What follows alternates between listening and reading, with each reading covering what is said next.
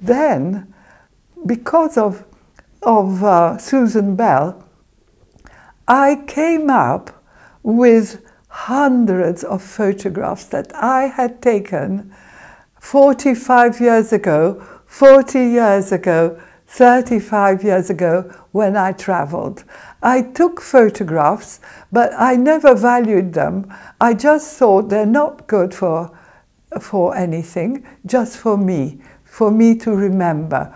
And they are photographs of people cooking, of people, artisans making things, of uh, people selling in the market. Everything is people doing food, selling food, growing food.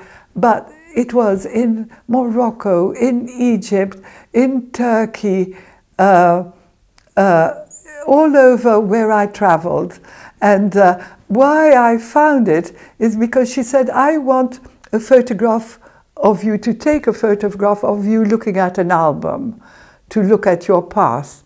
And then I went and looked for family albums, and my daughter Nadia had put them somewhere, and I couldn't find them. So I opened the bottom drawer, and there were the, some albums where I had put photographs that I'd taken in my travels. So I showed her the album, and she took a photograph of me looking at an album, which she didn't put in the book, but she, um, uh, she took a lot of photographs of the family eating in the garden.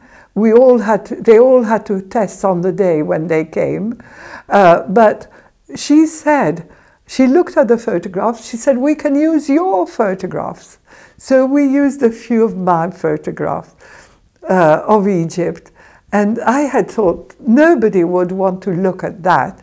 But yes, they were valuable. And, uh, and uh, she also saw there was only one photograph with me in it, but she didn't use it. But it was a photograph of Turkish Delight hanging on strings, made on strings, because that's how they're made. And behind them was a mirror. And as I took the photograph, the photograph took a photograph of me taking the photograph in the mirror. So it was the photograph of the mirror, image in the mirror. And so, yes, so there is, she didn't, we didn't use that photo. But for me now, I've seen hundreds, these hundreds of photographs that are in, in a huge uh, cache that maybe one day I will, and maybe in my next book. I will. And my next book will be a Middle Eastern, but different.